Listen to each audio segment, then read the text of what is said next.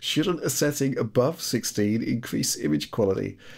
Alex, what do you think of this? Because I personally can't really tell the dif- tell the difference between 8 and 16 times. 8 and 16 requires like a very flat texture pretty far yeah. into the distance. Um, a uh, the reason why you don't see it is because anisotropic filtering is a hardware feature generically.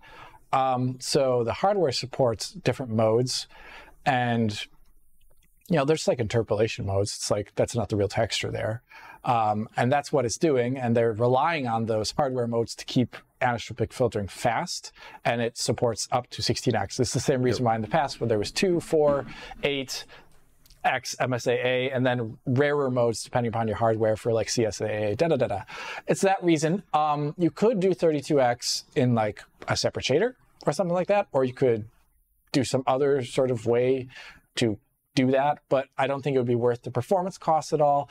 Uh, and if you want the equivalent of higher anisotropic filtering, downsample, uh, which yeah. will give you higher anisotropic filtering quality. So I think that's interesting yeah. because uh, the port of Doom 64 from Nightdive is a perfect example of this in action, not with anisotropic filtering specifically, but texture filtering, right?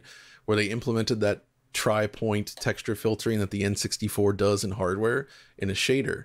Uh, and it's because, you know, graphics cards don't natively support that method of filtering their textures. So they had, they ended up doing what is effectively lower quality texture filtering on purpose because it's how the art was designed using a technique that technically requires more hardware power and that's Quite what we more probably yeah. yeah. so that's what we'd see with this if you're doing 32x you probably wouldn't be able to see the difference and it would cost a lot more for that intangible difference. So yeah super intangible there's no reason it's not worth it. it. Yeah, yeah. 64x it's the future. 124 AF yeah